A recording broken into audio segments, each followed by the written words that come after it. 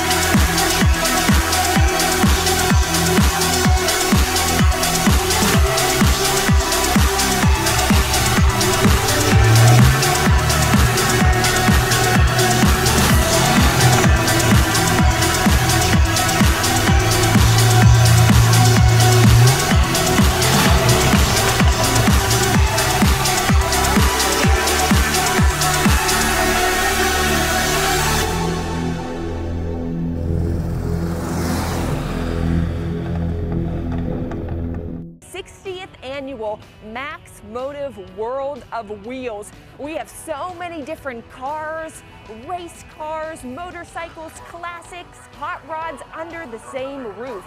I know a lot of people are excited to come down here to check it out. This is one of the first big shows the convention center has had since the beginning of the pandemic last year.